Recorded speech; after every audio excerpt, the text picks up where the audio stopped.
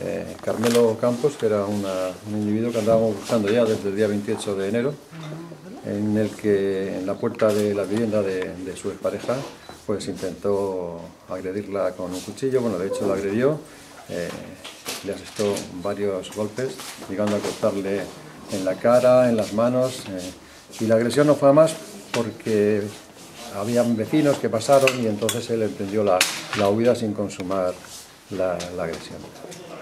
Eh, este individuo eh, es bastante peligroso, tiene numerosos antecedentes, tiene antecedentes hasta en prisión, tiene antecedentes por homicidio doloso, por tráfico de drogas, por malos tratos.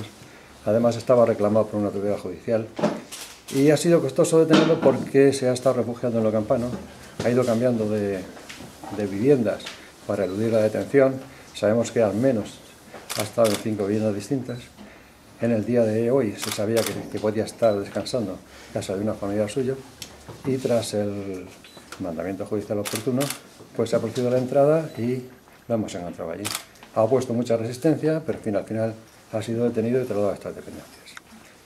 Eh, tras los registros en, en la vivienda de este individuo, pues se ha encontrado varios kilos de hachís y de marihuana y herramientas para modificar armas de fuego y para recargar municiones, además de seis, de seis pistolas que estaban preparadas para, para disparar.